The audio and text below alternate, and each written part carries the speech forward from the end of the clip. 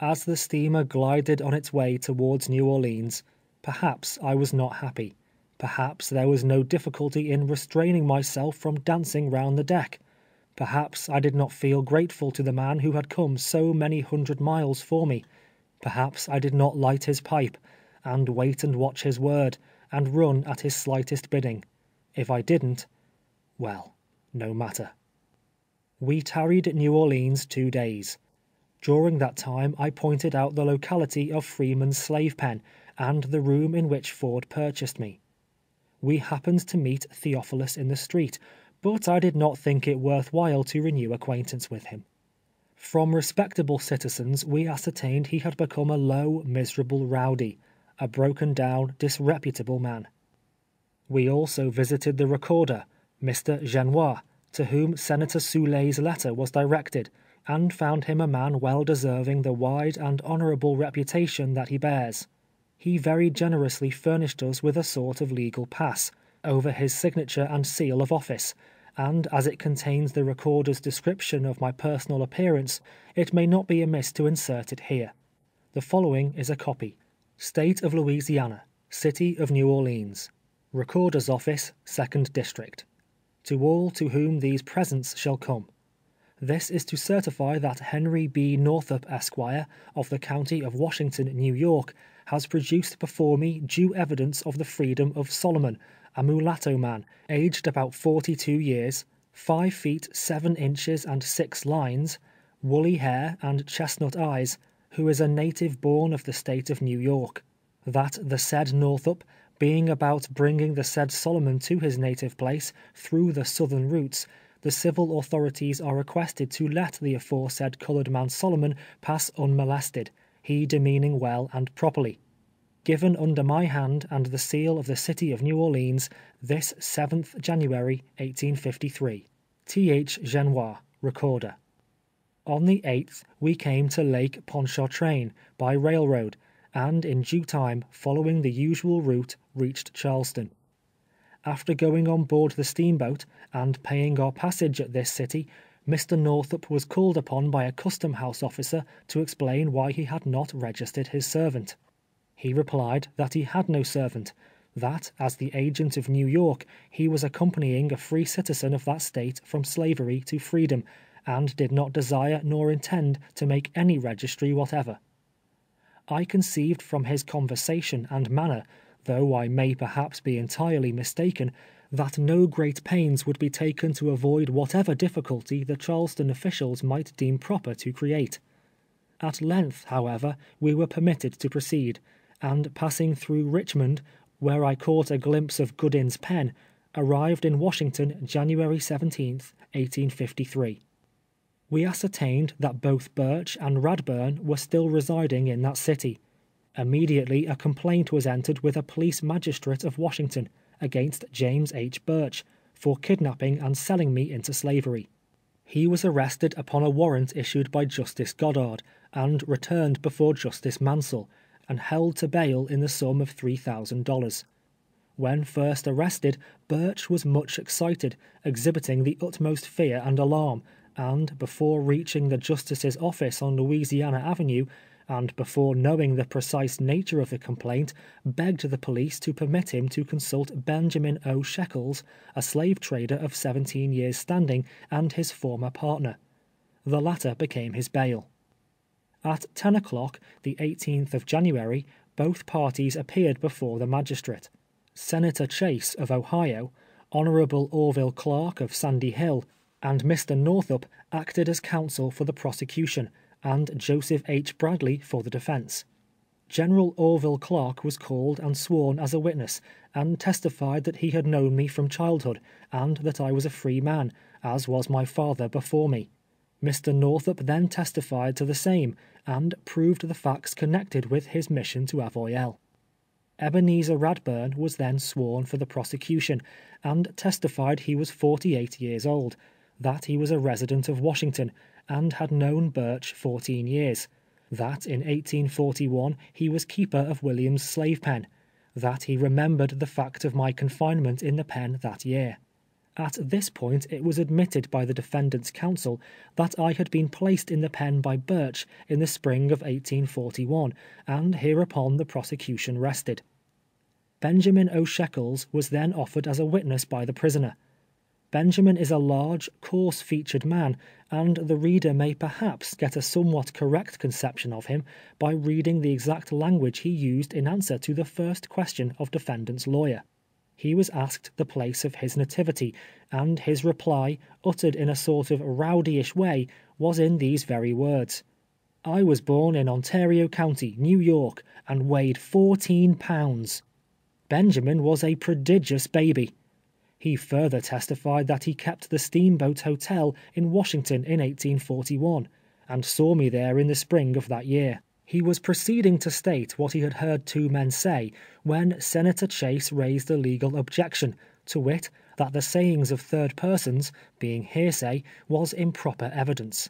The objection was overruled by the justice, and Shekels continued, stating that two men came to his hotel and represented they had a colored man for sale — that they had an interview with Burch — that they stated they came from Georgia, but he did not remember the county — that they gave a full history of the boy, saying he was a bricklayer, and played on the violin — that Burch remarked he would purchase if they could agree — that they went out and brought the boy in, and that I was the same person. He further testified, with as much unconcern as if it was the truth, that I represented I was born and bred in Georgia — that one of the young men with me was my master — that I exhibited a great deal of regret at parting with him, and he believed, got into tears. Nevertheless, that I insisted my master had a right to sell me — that he ought to sell me — and the remarkable reason I gave was, according to Shekels, that he, my master, had been gambling and on a spree. He continued, in these words copied from the minutes taken on the examination :" Burch interrogated the boy in the usual manner — told him if he purchased him he should send him South. The boy said he had no objection — that in fact he would like to go South. Burch paid six hundred and fifty dollars for him, to my knowledge. I don't know what name was given him, but think it was not Solomon.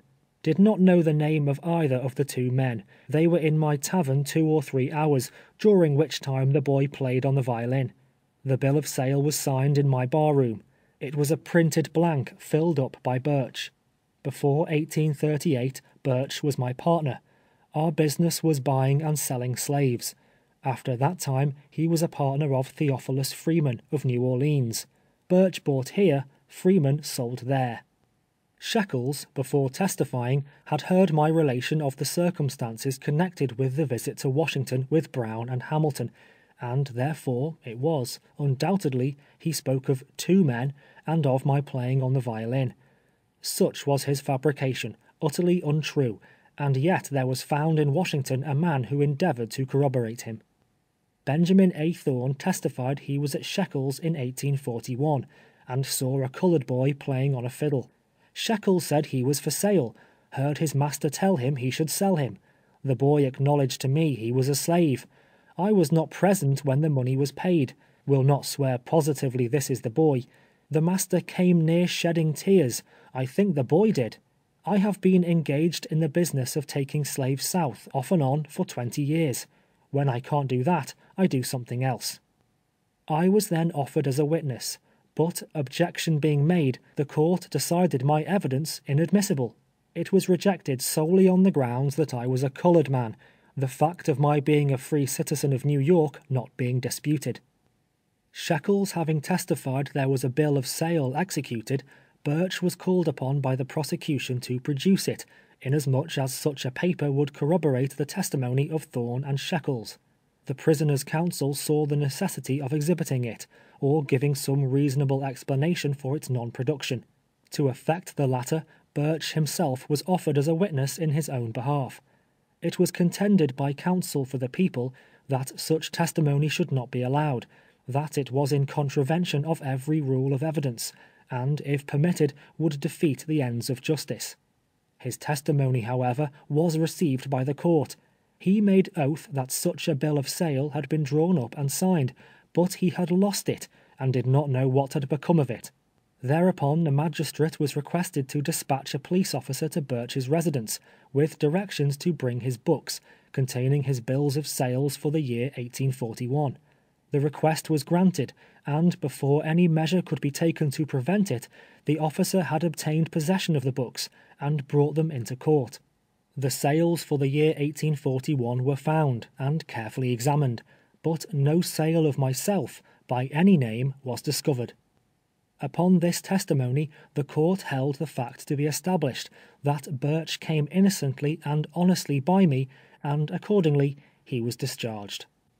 An attempt was then made by Burch and his satellites to fasten upon me the charge that I had conspired with the two white men to defraud him. With what success, appears in an extract taken from an article in the New York Times, published a day or two subsequent to the trial.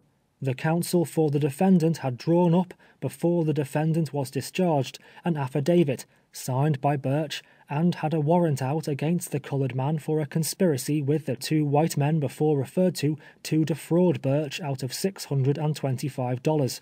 The warrant was served, and the colored man arrested and brought before Officer Goddard. Burch and his witnesses appeared in court, and H. B. Northup appeared as counsel for the colored man, stating he was ready to proceed as counsel on the part of the defendant and asking no delay whatever. Burch, after consulting privately a short time with Shekels, stated to the magistrate that he wished him to dismiss the complaint, as he would not proceed farther with it. Defendant's counsel stated to the magistrate that if the complaint was withdrawn, it must be without the request or consent of the defendant. Burch then asked the magistrate to let him have the complaint and the warrant, and he took them. The counsel for the defendant objected to his receiving them, and insisted they should remain as part of the records of the court, and that the court should endorse the proceedings which had been had under the process. Burch delivered them up, and the court rendered a judgment of discontinuance by the request of the prosecutor, and filed it in his office. There may be those who will affect to believe the statement of the slave trader — those in whose minds his allegations will weigh heavier than mine. I am a poor colored man — one of a down trodden and degraded race, whose humble voice may not be heeded by the oppressor. But knowing the truth, and with a full sense of my accountability, I do solemnly declare before men and before God, that any charge or assertion that I conspired directly or indirectly with any person or persons to sell myself — that any other account of my visit to Washington, my capture, and imprisonment in Williams' slave pen, than is contained in these pages, is utterly and absolutely false. I never played on the violin in Washington. I never was in the Steamboat Hotel, and never saw Thorn or Shekels, to my knowledge, in my life, until last January. The story of the trio of slave traders is a fabrication as absurd as it is base and unfounded. Were it true, I should not have turned aside on my way back to liberty for the purpose of prosecuting Burch.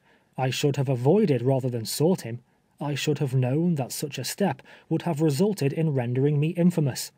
Under the circumstances, longing as I did to behold my family, and elated with the prospect of returning home, it is an outrage upon probability to suppose I would have run the hazard, not only of exposure, but of a criminal prosecution and conviction, by voluntarily placing myself in the position I did, if the statements of Burch and his confederates contain a particle of truth. I took pains to seek him out, to confront him in a court of law, charging him with the crime of kidnapping, and the only motive that impelled me to this step was a burning sense of the wrong he had inflicted upon me, and a desire to bring him to justice. He was acquitted, in the manner and by such means as have been described a human tribunal has permitted him to escape, but there is another and a higher tribunal, where false testimony will not prevail, and where I am willing, so far at least as these statements are concerned, to be judged at last. We left Washington on the 20th of January, and proceeding by way of Philadelphia, New York and Albany, reached Sandy Hill in the night of the 21st. My heart overflowed with happiness as I looked around upon old familiar scenes, and found myself in the midst of friends of other days. The following morning I started, in company with several acquaintances, for Glen Falls, the residence of Anne and our children. As I entered their comfortable cottage, Margaret was the first that met me. She did not recognize me. When I left her she was but seven years old, a little prattling girl, playing with her toys. Now she was grown to womanhood — was married, with a bright eyed boy standing by her side. Not forgetful of his enslaved, unfortunate grandfather, she had named the child Solomon Northup Staunton. When told who I was, she was overcome with emotion, and unable to speak. Presently Elizabeth entered the room, and Anne came running from the hotel, having been informed of my arrival. They embraced me, and with tears flowing down their cheeks, hung upon my neck. But I draw a veil over a scene which can better be imagined than described. When the violence of our emotions had subsided to a sacred joy — when the household gathered round the fire, that sent out its warm and crackling comfort through the room, we conversed of the thousand events that had occurred — the hopes and fears — the joys and sorrows — the trials and troubles we had each experienced during the long separation. Alonzo was absent in the western part of the State. The boy had written to his mother a short time previous, of the prospect of his obtaining sufficient money to purchase my freedom. From his earliest years that had been the chief object of his thoughts and his ambition. They knew I was in bondage. The letter written on board the brig, and Clem Ray himself, had given them that information. But where I was, until the arrival of Bass's letter, was a matter of conjecture. Elizabeth and Margaret once returned from school, so Anne informed me, weeping bitterly. On inquiring the cause of the children's sorrow, it was found that, while studying geography, their attention had been attracted to the picture of slaves working in the cotton field, and an overseer following them with his whip. It reminded them of the sufferings their father might be, and, as it happened, actually was, enduring in the South. Numerous incidents, such as these, were related — incidents showing they still held me in constant remembrance, but not, perhaps, of sufficient interest to the reader to be recounted. My narrative is at an end. I have no comments to make upon the subject of Slavery. Those who read this book may form their own opinions of the peculiar institution. What it may be in other States, I do not profess to know. What it is in the region of Red River, is truly and faithfully delineated in these pages. This is no fiction, no exaggeration. If I have failed in anything, it has been in presenting to the reader too prominently the bright side of the picture.